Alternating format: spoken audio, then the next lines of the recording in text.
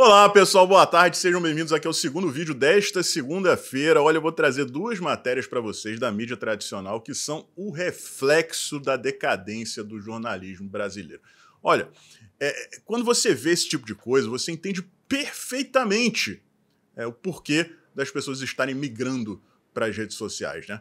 É, não dá, gente. Uma matéria é sobre o Paulo Figueiredo e a outra matéria é sobre o Tarcísio e o Zema.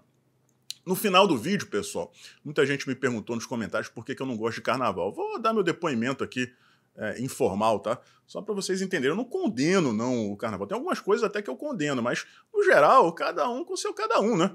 É isso. Para começar aqui, veja essa postagem do Zeca Disseu, rapaz, do filho do Zé Disseu, né, o nosso querido é, chefão, né, conhecido como Daniel, chefão da máfia petista. Cara ele que era chegado num, num terrorismo, né?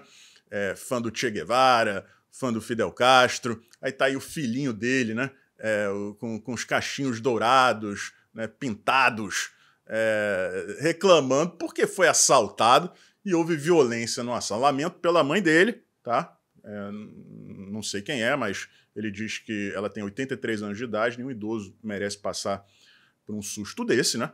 Mas é, não deixa de ser irônico. O Zeca Dirceu, do PT, reclamando de violência, reclamando de assalto. Pô, Zeca Dirceu, agora que a gente sabe que tá tudo bem com, com, com a sua mãe, é, eu, eu posso te dar algumas dicas assim. Primeiro, você pode ter uma arma em casa. Se você tiver uma arma em casa, é, entra vagabundo desse aí, é, você consegue proteger a sua mãe. Ela poderia ter sido vítima é, de uma violência mais severa. Né? Você poderia estar sem a sua mãe hoje. Estou falando sério, não desejo, não, muito pelo contrário. Agora, para evitar que isso aconteça, tequinho na cabeça dos invasores. Está resolvido o problema. Né? Mas, mas não. É, a, minha, a minha outra dica é a seguinte: quer pegar de volta aí o fruto do, do, do assalto? Vai no boteco mais próximo. Certeza, certeza que roubaram para tomar uma cervejinha. Carnaval, meu irmão. Carnaval. Os caras estão com sede, né? Vamos lá, as duas matérias. A primeira é essa aí, que foi escrita pelo Diogo Schelp. É, acho que vocês não vão lembrar, mas na época em que a Jovem Pan ainda era Jovem Pan, mas bem pro finalzinho já estava virando isso aí que, é, que a gente vê hoje, é, eles colocaram esse cidadão aí para participar né, das, das lives lá. Nossa, gente, era muito constrangedor, porque o cara realmente é uma porta. Sabe? O cara é uma porta, não tem nem expressão facial. Você imagina uma porta, um jornalista porta, que não consegue nem levantar a sobrancelha. Né? Era, era, era muito ruim de assistir aquilo. Né? Vamos, vamos ler aí. Opinião. Ainda bem que o Estadão deixou isso claro. É a opinião do Diogo Schelp, né? que não vale muita coisa. Tarcísio e Zema tem o desafio de manter Bolsonaro a uma distância segura para 2026. Aí ele fala, né? Quem quiser alçar voos à presidência terá que se equilibrar entre a lealdade bolsonarista de um lado e o apego à ordem institucional do outro. Vamos lá, ô Diogo. Para começar, o Zema não é bolsonarista. Porra, você tá de sacanagem com a minha casa. Eu quero dizer que o Zema é bolsonarista? Pô, meu irmão, o Tarcísio só existe por causa do Bolsonaro. Se não fosse o Bolsonaro, não existiria Tarcísio. Se o Tarcísio for candidato à presidência da República em 2026, ele só se elege com o apoio do Bolsonaro.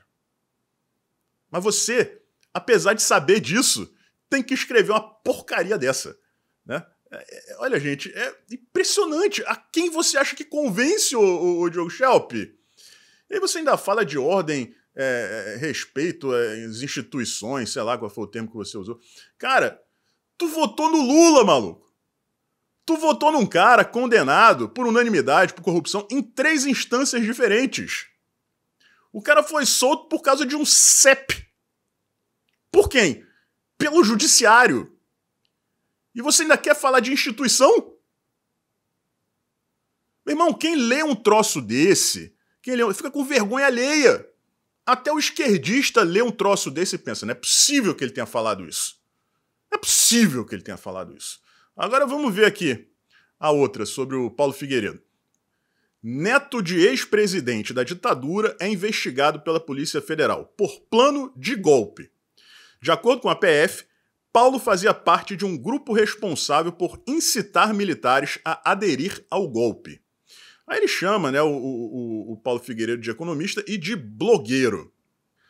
Eu tive a curiosidade de pesquisar quem era o, o jornalista que escreveu isso aí, né? É um rapaz jovem, a gente tem que dar crédito aqui a ele, porque ele escreve também matérias críticas ao governo, coisa que pouquíssimos jornalistas fazem. É, mas ele se formou em 2023, gente. Recém-formado. Aí vai lá, enche a boca e chama um cara como Paulo Figueiredo, que é um tremendo um jornalista de blogueiro. Porra, cara, não dá, né, irmão? Aí você. Aí você tá, tá, tá, tá errado, você tá errado. Né? Aí, pessoal, vamos lá. O cara tá dizendo. É, não, não, é nem que ele esteja dizendo, né? é, uma, é uma acusação aparentemente feita pela Polícia Federal, que é sempre bom lembrar, tem como diretor-geral um delegado que trabalhou com a Dilma Rousseff durante muito tempo, nos governos dela, foi chefe da segurança do Lula durante a sua campanha em 2022, amiga ali, unicarne com o delegado do Casadélio, né? O senhor Andrei Rodrigues. Pronto, vou fechar esse parênteses aqui para que todo mundo entenda que a Polícia Federal hoje, né, que, que faz essas operações aí, não, não é a Polícia Federal de antigamente, não é nem a Polícia Federal, é uma célula, né? Enfim. E aí ela tá agora com essa narrativa, essa célula da Polícia Federal, de que o Paulo Figueiredo incitou golpe né, para tentar convencer general a aderir ao golpe. Meu filho, isso não é jornalismo. Né? Porque, veja só, recentemente né, eles soltaram aí um documentário que ninguém assistiu chamado Democracia Inabalada. Para você considerar a hipótese de que um jornalista que mora nos Estados Unidos é, teria a capacidade de convencer, convencer generais a aderirem a um golpe de Estado à distância, o cara lá no hemisfério norte, isso aí é uma fantasia. Isso é uma fantasia. Um jornalista sério pega uma acusação dessa e debocha disso aí.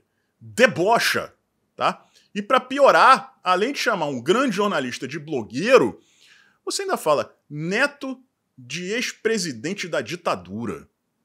Isso aí é suco de DCE, isso aí é suco de Universidade Federal, isso é suco de curso de jornalismo de universidade federal aqui do Brasil. Né? Você, você proferia aí esses espalpérios aí, tudo em uma chamada e uma subchamada. Que coisa ridícula! Que coisa ridícula! Então, é, foi a isso que o jornalismo brasileiro foi reduzido, pessoal. É uma, é uma, uma é, não, não é uma redação, né? é uma central de militância. Tudo que eles escrevem tem viés ideológico. Quando eu elogiei o fato do Estadão ter escrito lá opinião, é porque esse outro cidadão que escreveu isso aqui, ele tinha que ter deixado claro também que é a opinião dele, e ele tem o direito à opinião dele, coisa que nós da direita não temos. Porque quando vocês vão lá e falam que foi uma tentativa de golpe, coisa que não foi, porque seria um crime impossível, né, já trouxe aqui para vocês em diversos vídeos diferentes o porquê é, de nenhuma das condutas atribuídas ao Bolsonaro é, se encaixar né, em, em, nenhum tipo é, crime tipificado que exista né, na, na, na no, no, Brasil, é, assim, cara, você tem que parar para pensar antes de escrever. Você tem que fazer. O trabalho do jornalista é pegar aquilo ali e, e assim, ó, ele está sendo acusado de ter cometido crime tal, artigo tal, código penal, ou da lei antiterrorismo, como chegar a ventilar aí. Aí você, como jornalista, esquece o teu lado militante, a sua ideologia política, e vai lá no Código Penal. Aí você vai lá e pega o que está escrito, compara com a conduta atribuída ao Jair Bolsonaro e vê se tem nexo. Ao invés de ficar repetindo isso aí como se fosse um papagaio de bêbado. Ainda acha que tem o direito de chamar o outro de blogueiro, fazendo um trabalho porco desse. Não à toa, tá todo mundo migrando para as redes sociais. E não à toa também eles querem controlar as redes sociais. Triste. É opinião, tá? Então o, o CNN ou qualquer pessoa que esteja aí, né, replicando textos opinativos, né, é, é, empapuçados com ideologia, façam o que o Estadão fez, escrevam opinião. Pronto. Aí o problema está resolvido. Resolvido. Tá? Agora vamos lá, pessoal. Como eu falei aqui, vamos falar de, de, de, carnaval. Olha só, não é que eu seja contra o carnaval, mas eu tenho direito de não gostar. Ou não tenho? Eu não gosto de carnaval. Eu acho uma coisa fútil, eu acho escapismo, eu acho desnecessário. O que eu não gosto, que eu desaprovo mesmo, assim, é, é, são duas coisas. Primeiro, é o fato de usarem dinheiro público, verba pública, para é, promover os carnavais. E, em segundo lugar, os eventos serem realizados em áreas residenciais, incomodando pessoas porque a maioria das pessoas não gosta. Ah, mas a rua está lotada. Tem muito mais gente em casa ou fora das cidades, né, para fugir, do que aproveitando ali a, a, as festas. Né? E como vocês, quem já foi, assim como eu já fui, vou até dar meu testemunho aqui. Você olha para o chão, tudo que você vê é xixi e lata vazia de cerveja. Quer dizer, não é, não é nem oferecida uma infraestrutura adequada para as pessoas. Aí você chega num banheiro químico, o banheiro está quase transbordando de urina. Né? Fedorento pra caramba. Uma fila gigantesca. Aí não tem jeito, meu amigo. A natureza chama. Aí você vai onde dá. Mesmo que você não queira, mesmo que você ache errado. Então qual é a alternativa? Não vai, irmão. Se você não tem é, é onde, onde fazer um xixi, que coisa. Que é falta maior de dignidade do que você não ter um banheiro para urinar você não tem uma lata de lixo para jogar o, o a, a, lata de cerveja. Isso aí, gente, é, é, é coisa de selvagem. Tá? Então, mas assim, se a pessoa gosta, se ela não se incomoda com isso, vá lá. Agora, não deveria ter verba pública e tudo isso deveria ser realizado num ambiente afastado que não atrapalhasse a vida de ninguém. Eu, por exemplo, eu fui. Pra, eu devo ter ido em bloquinho na minha vida no ano de 2012, que eu fui num monte, tinha tomado um pé na bunda, tava sofrendo, a alternativa era ficar em casa, trancado, deitado na cama, né? É, encolhido, é, que nem um caramujo. Aí não, então, aí eu fui, né? Aí eu acho que eu fui um dia em 2013 também, só para ter certeza. Mas em 2012, né? Todo dia eu chegava em casa e ficava, gente, isso é muito ruim. Isso é muito ruim. Você passando calor, odeio calor. Passando calor, né, eu, eu cheguei a ter queimadura de segundo grau atrás do pescoço.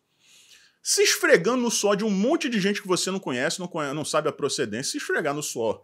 É, no meu caso, que, que gosto né, de uma mulher bonita e tal, numa situação ali de intimidade, beleza.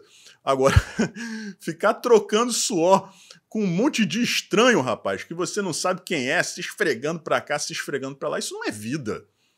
É, não é vida, gente. É, sabe? É, aí eu chegava todo dia em casa, ia tomar banho, ia tomar uma chuveirada e ficava, gente, isso é muito ruim. Mas no dia seguinte eu ia de novo, porque a alternativa era ficar em casa chorando engano. Né? E, e, eu, hoje em dia, pessoal, tirando os jovens, assim, que, que ainda estão compreendendo o que é a vida, né?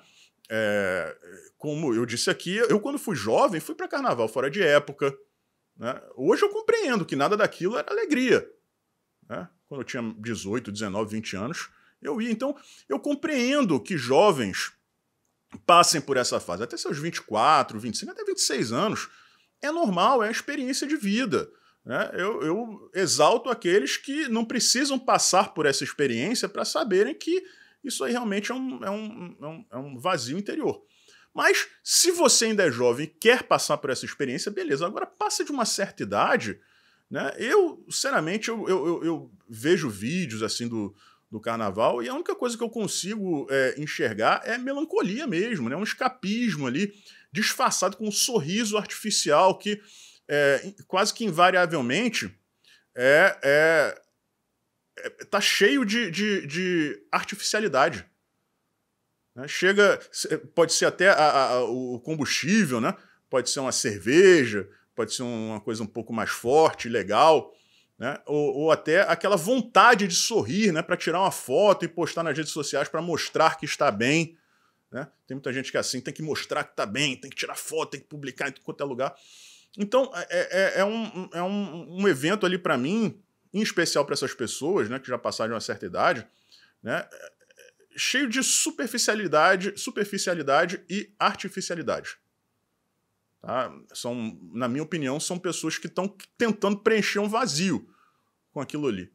Mas é o que eu já disse, cada um com seu cada um. Né? Até porque não adianta você chegar e falar para uma pessoa dessa que aquilo não é alegria, porque ela, é, aquela é a única alegria que essa pessoa conhece. Ela olha para uma pessoa como eu, que valoriza muito mais fazer uma viagem para um lugar tranquilo com pessoas que você gosta, aí sim, para se divertir, pode tomar cerveja, droga não, mas tomar uma cervejinha e tal, é, ficar animado, mas cercado por pessoas que você gosta, entendeu? É, ou então você ficar em casa, como eu estou fazendo aqui, estou tendo que trabalhar, é, e para mim isso é bom, mas essas pessoas olham para a gente assim, como eu, e pensam: ah, não, esse cara é um infeliz, deve ser chato pra caramba. Né? Olha só como esse cara é chato. Nossa, pleno carnaval, o cara fica em casa fazendo vídeo. Eu não preciso de escapismo, gente. Isso não é questão de você. É, de eu estar super feliz, não. A, a, a, alegria verdadeira é a estabilidade emocional. Né? O resto são picos e vales, né? É, são momentos de muita tristeza, esses momentos de excitação, assim, que são passageiros. Né? Isso aí não é alegria. Alegria é estabilidade emocional. Tá? Então, é por isso que eu não gosto. Mas não julgo. Se é isso que faz a pessoa feliz, repito, até porque a pessoa não sabe, o, o, o não conhece outro tipo de felicidade, alegria, tranquilo. Né? Agora, eu, se fosse um ditador, né, coisa que eu não almejo ser, mas se eu fosse um ditador um dia, eu acabava com o dinheiro público em carnaval. Não tem um centavo não tem um centavo, tá? Acabou. É, e outra coisa, quer fazer festa, quer fazer bloquinho, vai para um lugar afastado que não incomode ninguém. Aí, meu camarada, se virem, façam o que vocês quiserem, tá? É isso. Um forte abraço, a gente se vê por aí.